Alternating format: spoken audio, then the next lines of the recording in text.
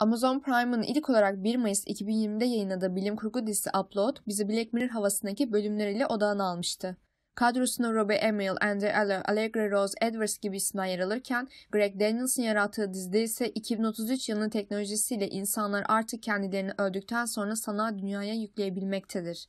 Bilgisayar programcısı olan ana karakterimiz Nathan Brown, talihsiz bir araba kazası sonucu hayatını kaybetmek üzereyken kız arkadaşı Ingrid'in sayesinde bir sanal dünya olan Lakeview'a yüklenir. Ancak hasarlı hafıza dosyaları yüzünden bazı anılarını hatırlayamamaktadır. İkinci sezon onayı alan dizinin birinci sezon özetine gelirsek. Bilgisayar programcısı Nathan bir trafik kazası geçirmişti. Hastaneye kaldırıldığında ise hayati değerleri çok zayıftı ve kız arkadaşının tavsiyesiyle ölmeden önce Lakeview adına bir sanal dünyaya kendini yükletmişti. Yemek salonunda Luke adına biriyle arkadaş olmuştu. Luke, Nathan'a gölün kenarında olan bir veri akışından bahsetmişti. Buraya ayak uyduramayan insanların gerçek dünyaya geri dönmek için o yolu kullandıklarını ancak başarılı olamadıklarından bahsetmişti. Nathan sonsuza kadar yaşayabildiği bu sanal dünyadan gitgide sıkılmaya başlamıştı ve kendini veri akışına atacakken o sırada kendisini uygulamaya yükleyen Nora ile tanışmıştı. Nora, Nathan'ı bu fikrinden döndürmüştü ve ona karşı bir şeyler hissetmeye başlamıştı.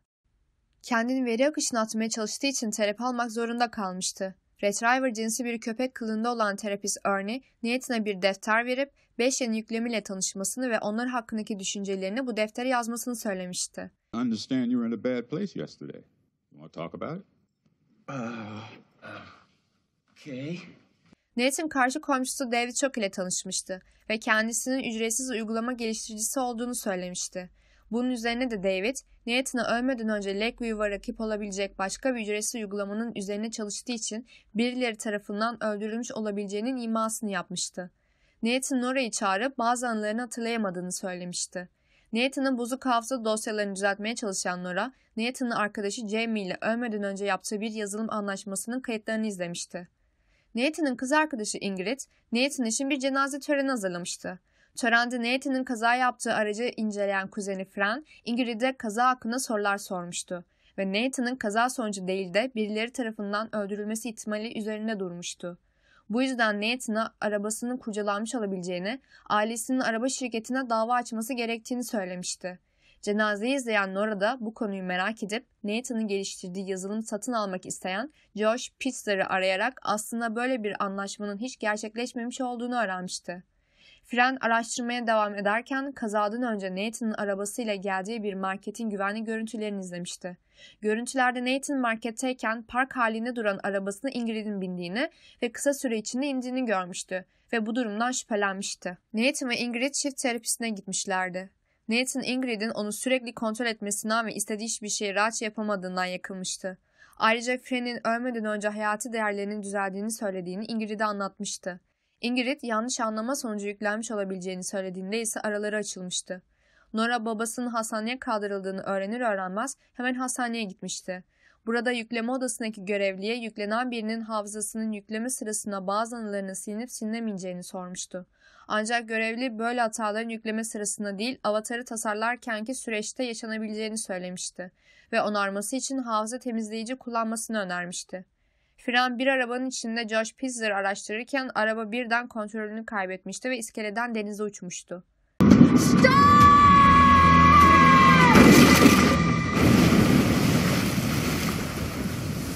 Nathan yeğeni Nivayat'tan Fren'in ortadan kaybolduğunu, haber alınamadığını öğrenmişti. Nora Byron ile akşam yemeği için buluşmuştu. Sonrasında çalıştığı ofisi Byron'a gezdirmek için iş yerine geldiğinde ise Nathan'ın yalnız olduğunu görmüştü. Bağlantı kurup ona ölümünün bir kaza olmadığını, bazı hafıza dosyalarını bulamadığını ve bunu birilerinin yapmış olabileceğinden şüphelendiğini söylemişti. Masa başında uyuyakalan Nora, sabah olduğunda arkadaşı Alicia tarafından uyandırılmıştı. Ancak uyuyakaldığını müdürü Lucy de görmüştü. Lucy Nora'yı bir daha böyle bir şey yaparsa puanlarını düşürmekle tehdit etmişti. Nora haberlerle Josh Pizza ve yanındaki 9 kişinin yükleme dolandırıcıları tarafından öldürüldüğünü öğrenmişti ve Lucy'nin öğle yemeğine gitmesini fırsat bilip onun odasına girmişti. Lucy'nin bilgisayarına girip Josh Pizza ve Nathan'ın hasarlı hafızaları hakkında bir şeyler bulmaya çalışırken bilinmeyen bir çalışanın Nathan'ın dosyalarına erişim olduğunu bulmuştu. Bu kişinin kim olduğunu incelerken o sırada birisi Lakeview'un veri tabanına bulunduğu odaya bir patlayıcı yerleştirmişti ve ardından bir patlama sesi duyulmuştu. Tüm bilgisayarlar ve sistem kısa süreliğine çökmüştü. Lucy Nora'ya Nathan'la fazla samimi olduğu için ona bir süreliğine uzaklaştırma vermişti. Nathan'a Nora'ya hislerinden bahsetmek için onu çağırdığında ise Lucy, Nora'nın avatarını kullanarak Nathan'la konuşup onu reddetmişti. Nathan da hislerin karşılıklı olmadığını düşündüğünden annesine daha uygun bir fiyatla başka bir sanal dünya bulmasını istemişti. Nathan'ın sistemden ayrıldığını öğrenen Nora da olanları öğrenmesi için Ingrid'e gitmişti. Ingrid de Nathan'ın annesini bulup onları bu düşünceden vazgeçirmişti. Nathan'ın yüklü olduğu sabit diski alan Ingrid, sanal dünya acentasından çıkarken adamın biri sabit diski alıp yok etmek için bir su fıskiyesini atmıştı. Ancak Nora Ingrid'e acentadaki bozuk disklerden birini verdiği için Nathan kurtulmuştu ve tekrardan Lakeview'a yüklenmişti. Horizon şirketi Lakeview için yeni bir güncelleme yapma hazırlığına girmişti. O arada da Nathan Ingrid'e ilişkilerinin daha fazla yürüyemeyeceğini söylemişti ve ondan ayrılırken ölümü hakkında bir şeyler bildiğini anlamıştı. Yakın arkadaşı Jamie'yi arayan Nathan ondan en düşük yüklenen sınıfı olan 2 GB'lık kısmına geçebilmesi için borç istemişti. Güncelleme sayesinde Nathan'ın hasarlı hafızaları onarılmıştı ve onları tekrardan hatırlıyordu. Bu sayede Nora da Nathan'ın arkadaşı Jamie ile üzerine çalıştıkları yazılımı satmaya hazırlanırken Jamie'ye ihanet edip onu söylemeden yazdığı kodlara para karşılığında Ingrid'in babasına sattığı gerçeğini öğrenmişti. Olanlar hakkında Nathan'la konuşurken pencereden biri girip Nora'yı öldürmeye çalışmıştı. Ancak Nathan'ın yardımıyla kötü adamdan kurtulmuştu. Nora evinden bir süreliğine ayrılırken Nathan'a karşısında Ingrid'i görüp onun da Lakeview'a yüklendiğini öğrenince şaşkına dönmüştü. Ingrid? I'm here now. Now and forever. I upload it for you.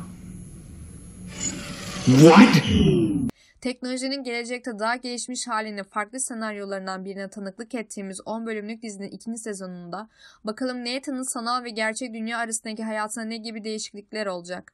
Lütfen takip ettiğiniz ve yeni sezonlarını beklerken en son nerede kalmıştı dediğiniz dizileri yorumlara yazın. Bir sonraki videoda görüşmek üzere. Kendinize iyi bakın.